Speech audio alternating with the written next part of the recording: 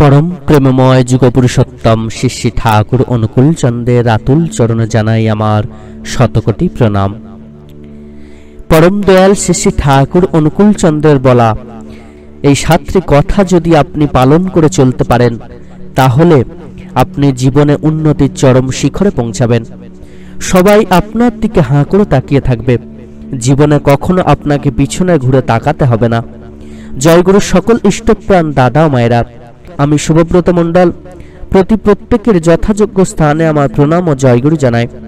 যারা আমাদের চ্যানেলে নতুন এসেছেন, তারা দয়া করে আমাদের চ্যানেলটিকে সাবস্ক্রাইব করে দেবেন এবং লাইক, শেয়ার ও কমেন্টস করে আমাদেরকে উৎসাহিত করবেন।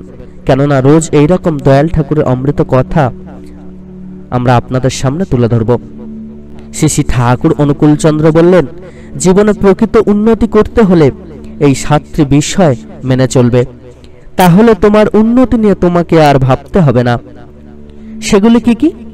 এক নম্বর পয়েন্ট হলো কনসেন্ট্রিসিটি বা সুকেন্দ্রিকতা। শ্রী ঠাকুর অনুকূলচন্দ্র বললেন, আমাদের জীবনের প্রথমেই চাই কনসেন্ট্রিসিটি বা সুকেন্দ্রিকতা। তোমার সবকিছু হওয়া চাই তাঁরই জন্য। তিনি যেন তোমার সবচাইতে মুখ্য হয়ে ওঠেন। যা কিছু করবে সবই যেন তাকে খুশি করার জন্য। অর্থাৎ সর্বপ্রথম আমাদের পরম পিতার সন্তান হয়ে উঠতে হবে। তিনি যে আদেশ নির্দেশগুলি দিয়েছেন, সেগুলি যথাযথ পালন করে চলতে হবে। তাকে ভালোবেসে তাকে অনুসরণ করে চলতে হবে আমাদেরকে। যেটি করলে তিনি খুশি হবেন, সেই কাজগুলি আমাদেরকে পূর্ণ নিষ্ঠার সঙ্গে ভক্তি সহকারে পালন করতে হবে। তবেই জীবনের উন্নতি সম্ভব। দ্বিতীয় পয়েন্ট হলো অ্যালার্টনেস বা সতর্কতা। শ্রী ঠাকুর অনুকূলচন্দ্র বললেন, তারপর আমাদের চাই অ্যালার্টনেস বা সতর্কতা। চারিদিকে সতর্ক দৃষ্টি রেখে চলতে হবে আমাদেরকে। কিসে আমার ভালো, কিসে আমার মন্দ, সবকিছুকে ঠিক ঠিকভাবে পর্যালোচনা করে চলা লাগে। জীবনের প্রত্যেকটা মুহূর্তে আমাদেরকে অতি সতর্কভাবে কিন্তু পা ফেলতে হবে। প্রত্যেকটা কাজ যদি আমরা সতর্কতার সাথে পালন করতে পারি, তাহলে আমরা সকল কাজেই সফল হব এবং আমাদের উন্নতি অবশ্যম্ভাবী।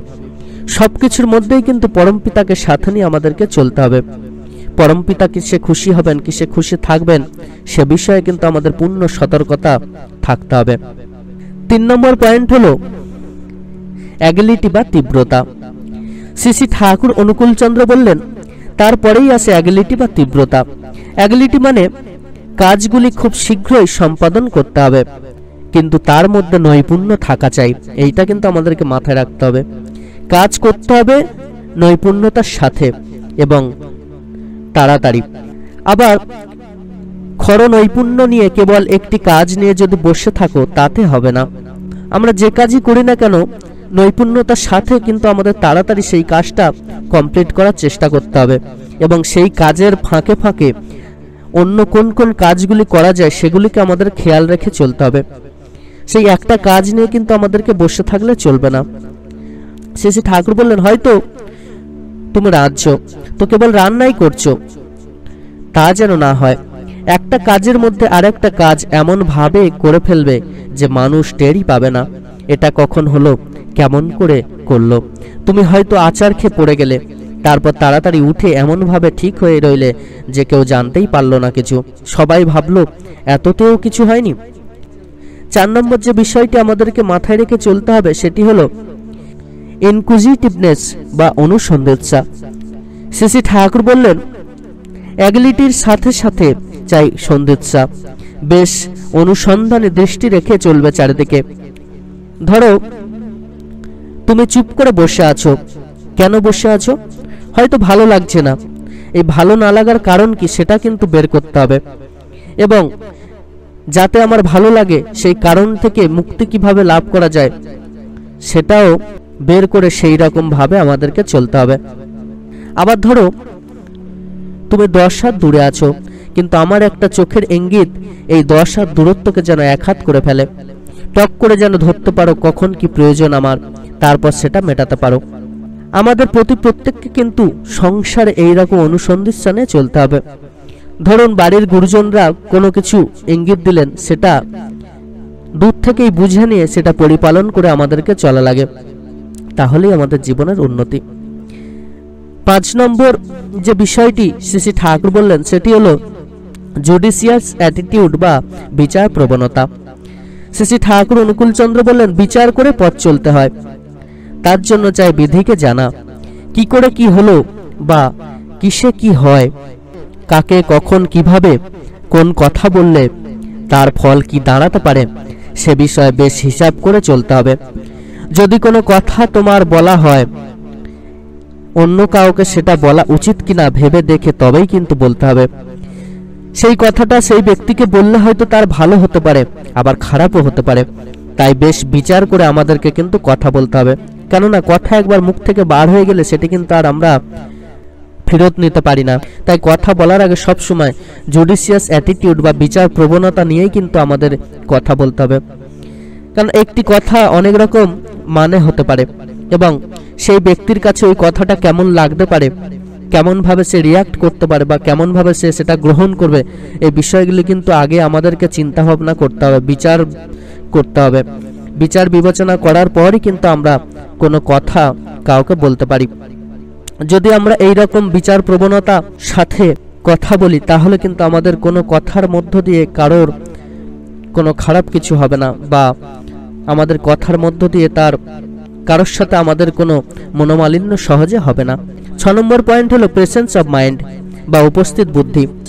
শ্রী ঠাকুর বললেন তারপর আমাদের প্রতি প্রত্যেকের মধ্যে থাকা চাই প্রেসেন্স অফ মাইন্ড বা উপস্থিত বুদ্ধি।